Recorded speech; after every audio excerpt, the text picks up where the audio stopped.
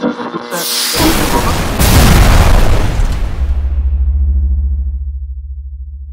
What is up guys, gals and minions, it is me Noir Proxy, and as you can see here doing a quick little channel update just to talk about what's been going on this week and why there's been a bit of a delay in the videos. So the Facebook minions know that I went away on um, Sunday and I had, like a little night stay in London, went segwaying on Monday, it was so cool. I don't know if any minions have ever done segwaying before, it's basically like a two-wheeled scooter. Is it a scooter? I wouldn't really class it as a scooter, it's like two wheels on the side of each other and you stand in the middle, it's kind of like that film Mall Cop, and you go on one of those and it's like motorized, it's really awesome, we ended up doing that, it was really really cool. Got some pictures taken, stuff like that. It was really, really awesome. And um, we ended up doing that, and that was kind of what I was doing on Sunday and Monday. But generally, I don't do videos on a Sunday. I generally just like that's my kind of my day off, or something, I guess you could say.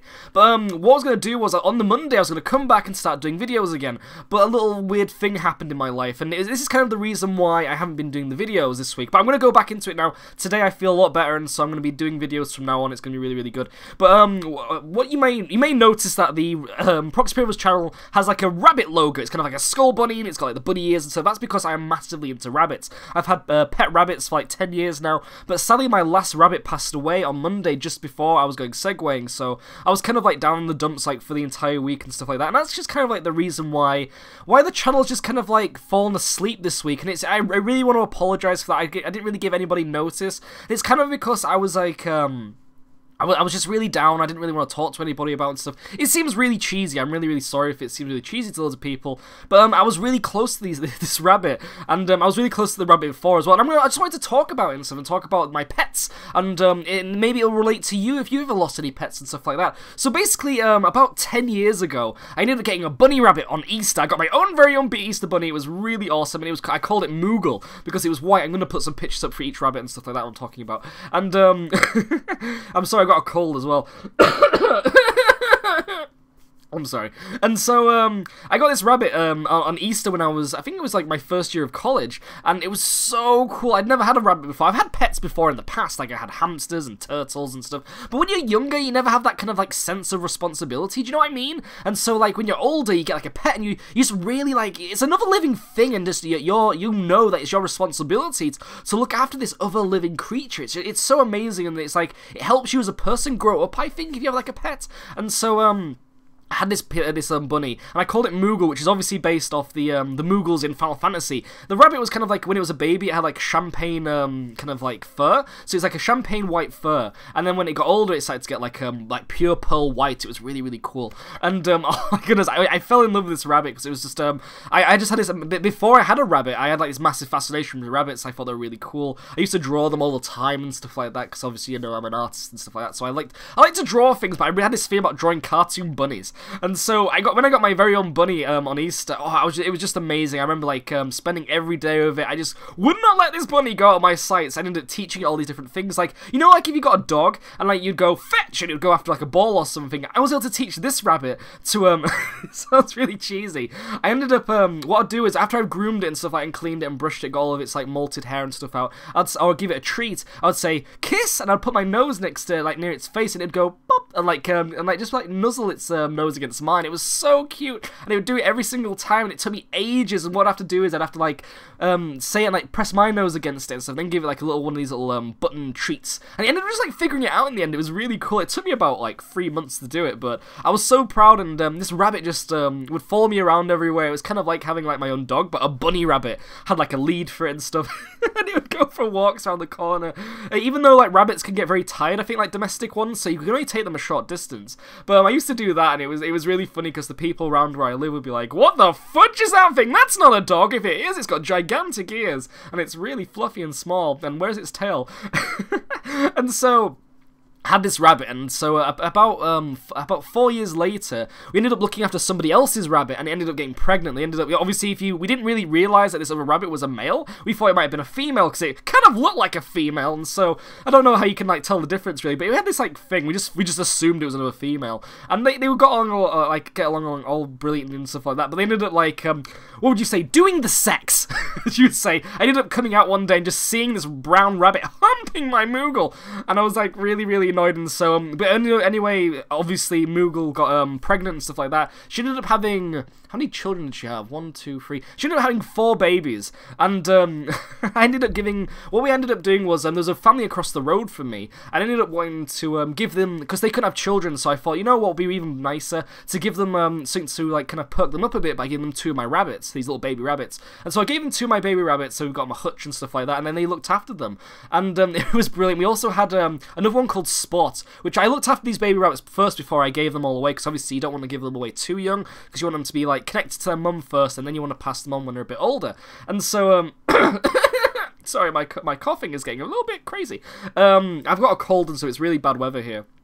And so, wonder what I ended up doing was, I ended up um, giving these two rabbits away. It was, it was, it, I thought it was a really nice gesture and stuff like that in, in my mind, and I, I, think they really liked it as well. They really appreciated it. But we had like another baby one when I was looking after it, when I was like making the, helping these rabbits grow up, and it was called Spot because it was born with a tumor on its head. It was really, really sad because I remember, um, this is gonna get really depressing now. I ended up taking it um, into the vet because what was happening was Moogle was rejecting the, the little baby rabbit. It looked like a little sausage you could put in your hand, and it was like it was like the size of like the width of your like hand horizontally. It was really, really small.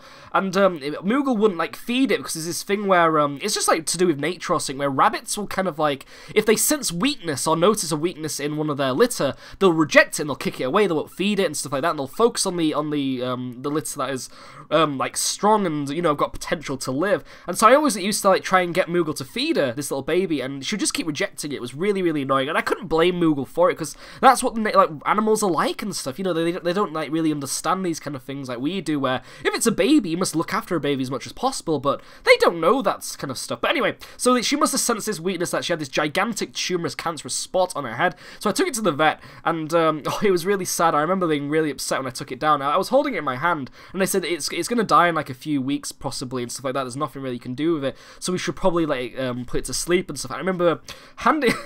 I remember like having this little like sausage rabbit in like my hand. I ended up like handing it over to this vet, and just before um, it did that, she yawned, um, and it was. I just remember like, oh my goodness, I remember just getting really upset because it was basically like sending something to die, but not like intentionally it was just something that they, they said it would be easier for it because it's supposedly it was going to be in a lot of pain and stuff. But we obviously can't see that in these little baby rabbits. But because they're like they look like they're asleep, they haven't got like their eyes stuff yet, they haven't developed for properly and stuff. But um, supposedly it was um, they said that it, that kind of like experience was in a very lot of pain. But it, it yawned and stuff like that. And I, just, I was like, oh my goodness! And I remember just walking home, just been completely like crushed and destroyed and upset, and it was it was really really bad. I remember taking it down like a little blanket and I had it covered up. So you can picture this tiny little sausage like wrapped up in a blanket was it was so sad, and um, and so I ended up um, later on. I ended up giving away two of the other rabbits to this couple across the road because obviously, as I said, they couldn't have children, and so they ended up looking after these rabbits, and I kept one of them for myself, which was a little chocolate one, which was called Moglet, and so which was supposed to be like Moogle Junior. So it had like um, it was also chocolate, so obviously like Mog, and then Lut, so it's like um, Moogle chocolate. it sounds really weird. I'm sorry.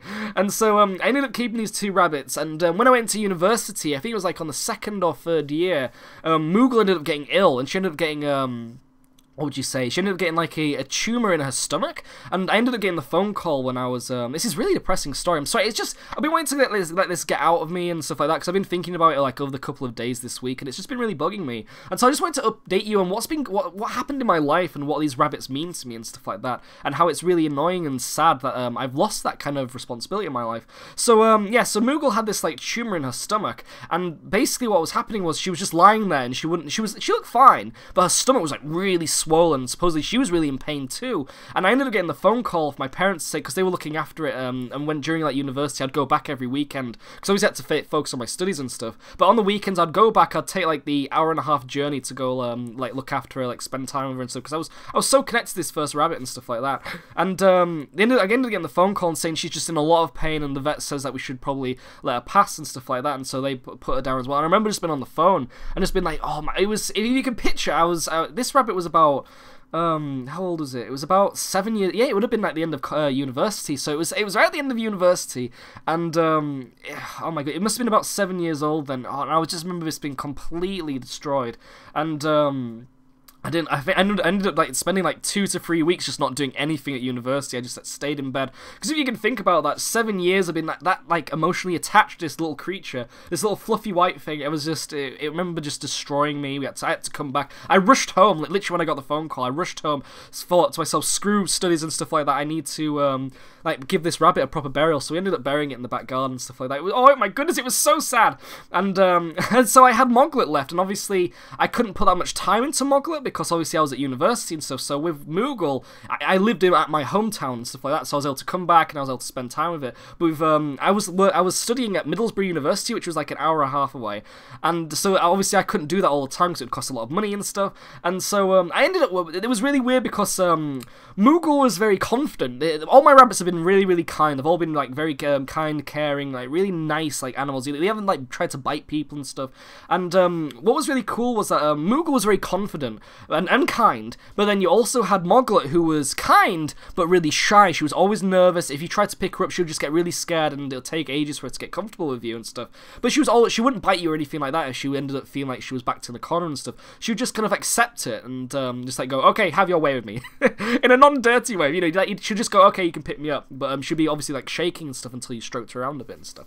And so um, it was really hard like training this rabbit, and so um, I remember um, I remember trying to I, I spent as much time with her as um as Moogle was as well, and so um ended up getting really close to her as well. But um, what was really weird is that um, she ended up passing away on Monday, and it, I got this um, I got this warning from the vet saying that it's going to be like a shift in the weather because obviously in the UK when it's like summer and it's really hot, it gets really hot, and when it's winter, it gets really freaking cold, and, and it's one of those things where rabbits aren't very used to it. When there's like a shift in the wind in like the weather supposedly, it means that it can be really dangerous for them. She was perfect one night before I left, and I left her with my parents, and um, I got the phone call Monday, and, uh, and they said um, the day before when I left left that she ended up becoming very ill. Like she just was like lying there and stuff like that. And um, supposedly on the, the, Sunday, I got the phone call again and they said, yeah, she's just lying there with her eyes closed, she's breathing and stuff. And I was like, oh my goodness, okay, get to the vet and stuff. So about an hour later before they got to the vet, she passed away. But I, something that kind of um, it was kind of weird to me was I didn't get like massively upset. I was um when when Moogle passed away, I, I was like destroyed and stuff. But I was kind of like I guess you could say I was kind of ready for it in, in a way. I was kind of like I was used to it now because obviously I'd experienced once already. But um what was really weird was when when I came back from London, I ended up um just kind of like that. I, I realized that that responsibility that I had originally for like, looking after these little creatures had gone. I, I I didn't have that responsibility, that thing to like to do, and I, I had you know usually you'd be doing something, you'd be doing your daily routine like your job, and then doing this like the channel and stuff, and then you'd have like you'd think, oh well, I've got to feed the rabbit and stuff and stuff like that, and I'd have to look after it and play with it, but that's gone now, and it's, so it's like um like an empty like a void inside my life, and it's really weird. Sorry that I've got a really like low throat. Uh, my voice is like really because um, I've got a cold and stuff. So I'm sorry. That's how I cough. I'm lying. I'm just trying to make it more entertaining instead of being like. Bleh. But um, yeah, and so I don't know. It was really weird. So I've just spent this entire week just feeling very, very odd. I haven't been wanting to do anything creatively, so that's why there's not been any videos. I recorded so many puppeteer videos before I left, like about 12 of them. So I'm just trying to edit them all now. But I was I was hoping to get them all like the puppeteer finished for this week, and hopefully we still will be able to. But I was just kind of like I don't know. I was just kind of like not wanting to do anything. I ended up playing a lot of Gravity Rush in bed and just playing that, and it, that kind of like choked me up quite a bit. But I was, I felt really weird, and that was the thing. I just, I didn't want to really do anything. I ended up getting GTA on the release.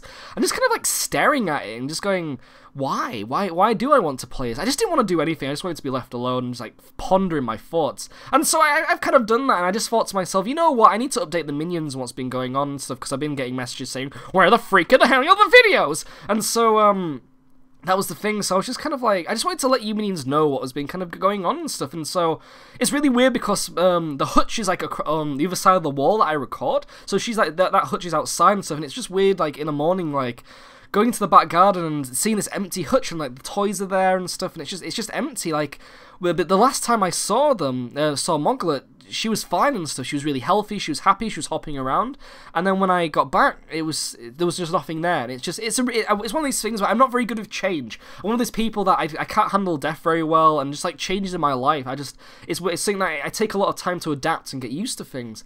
And so it was just really weird. And so I just wanted to share that with everybody. And you know, I just wanted to know as well is is there any minions out there that has had that experience, like they've had a pet that they've been really really close to, and it's just and they've either passed away or they've gone missing, and you how how did you how did you um face that and how did you go through that and you know um and book yourself up? Because I I'm fine now but it was still one of those things where this entire week I've just been kind of like you know, and thinking, well, it's kind of sucky and stuff. It's just, it's weird getting used to it. Obviously, it takes time to adapt to these things and get used to them. So, Minions, thank you for listening to It's been like 15 minutes of me just like waffling on and stuff, but I just wanted to let you know what, um, that side of my life, I guess. And one of the things that kept me, like, really chirpy and stuff was that I had these pets that I felt really proud of um, looking after and stuff. That responsibility, I was saying, it was something that I was doing, you know, personally. It, nobody else was helping me with it and stuff like that. And now that's gone, and so it's kind of like, what, what do I do now? I don't think I'll ever get another rabbit again because I don't want to go through the feeling of losing like a pet again or anything like that. I'll probably I don't know what if what the future holds for like pets and stuff.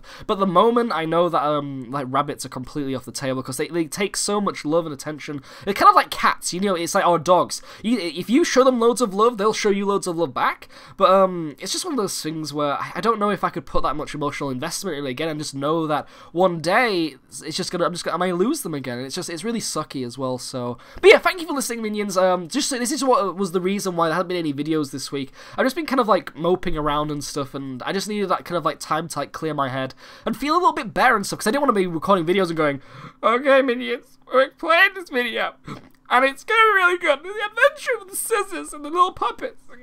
it's I didn't want it to be like that, so hopefully you you understand now and stuff. So I'm gonna start drinking coffee because I've got this horrible cold. You can probably tell I've got like a sore throat. My voice is like, and so um, I need to get like um, a hot drink just so I can like soothe my throat. I'm like really um really croaky voice. It's really bad, and so I need to get. uh, as I said, like you can tell, it's just like really, really horrible. So I need to get a warm drink, and then I'm gonna start recording again. I don't know what I'm gonna record yet, but I'll you'll you'll know because the videos will come up. So I'm gonna try and get some puppeteer out tonight and stuff like that. So lots of stuff gonna be going on this week. We've also got GTA, but anyway. I'll see you guys, guys, means next time. Remember to comment section below and tell me if you've ever had that kind of relatable experience of losing a pen stuff. I would love to know, because I'd love to get to know you um, guys, girls, means a lot more. So, yeah, comment section below, I'd love to know. But anyway, ciao!